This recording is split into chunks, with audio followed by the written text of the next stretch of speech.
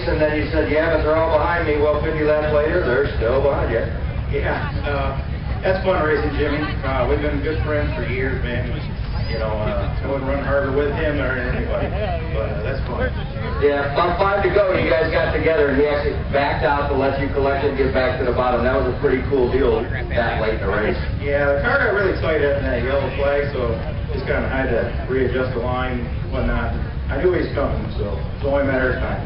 Well, I know you got a whole lot of people that help you out on this car. Yeah, uh, got to thank all my friends and family, all the kids and wives and girlfriends, everybody.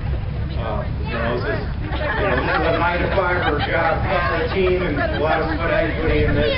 Failing guys with uh, family money and jobs, and their own their own businesses, so it still feels good to get a good win out of it. Well, I got Ed Schroeder here from UAW Local 3000 with something for you.